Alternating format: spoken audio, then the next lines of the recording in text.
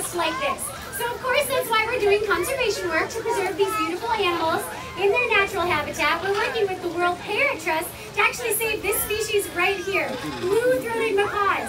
They're the rarest macaw species found out in the wild today. So you're so lucky to see little Eve here because she is part of the rarest family of macaws. And there's only 200 of them left in Bolivia down in South America. That population only had eight successful hatchlings last year.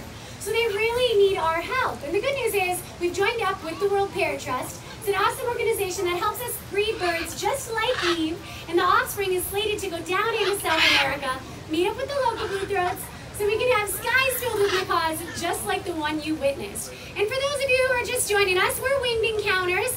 We bring out our birds here to show off some of their very cool natural behaviors, and we're only going to be out here a few more minutes before our birds head home.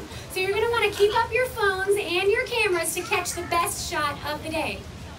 These birds just flew in from half a mile away, but they can literally fly wherever they want to. They can go to Magic Kingdom, Epcot, Hollywood Studios, wherever they want. Do you guys know why they came right here, right now? Yeah, we're feeding them, and we're not only feeding them, we're feeding them their favorite things. They get fed all day long, actually, but they get their favorite food right here on this perch. We pay them for coming out here to do their job, just like you guys get paid when you go to work. But their paychecks look a little bit different than yours.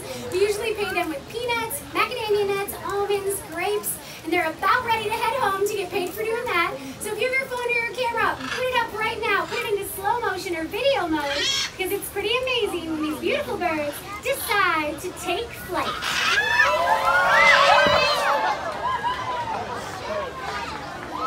And there you go, everybody is on the way home.